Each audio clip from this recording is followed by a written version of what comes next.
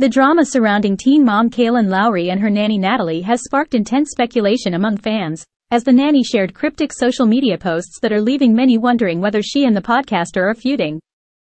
The situation escalated this week as Natalie posted a series of mysterious memes that suggest underlying issues and tensions that have yet to be addressed.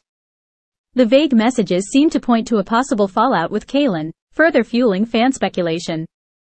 However, the true nature of this feud remains unclear, leaving fans craving more information to understand the situation. Natalie shared a sentimental message about having a good heart, and followed it up with a more direct post about dishonesty and disloyalty. Is this aimed at Kailyn? It's difficult to ascertain, but the cryptic quotes have certainly set the rumor mill buzzing.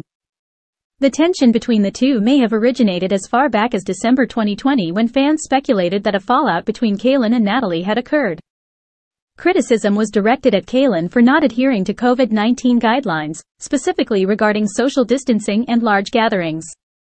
This incident did not sit well with fans, amplifying the ongoing tensions between the two. Amidst this speculation, Kailyn Lowry has been making headlines for different reasons.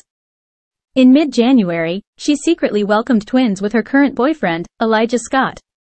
But the saga doesn't end there, as Kailyn also secretly welcomed another child, Rio, in November 2022.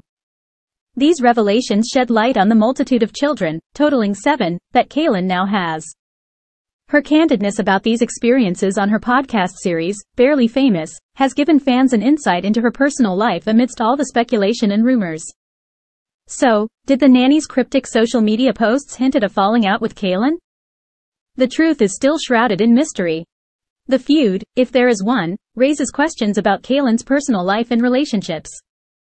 Regardless of the outcome, fans are eager to know more and are waiting with bated breath for a resolution to this saga. So what do you think?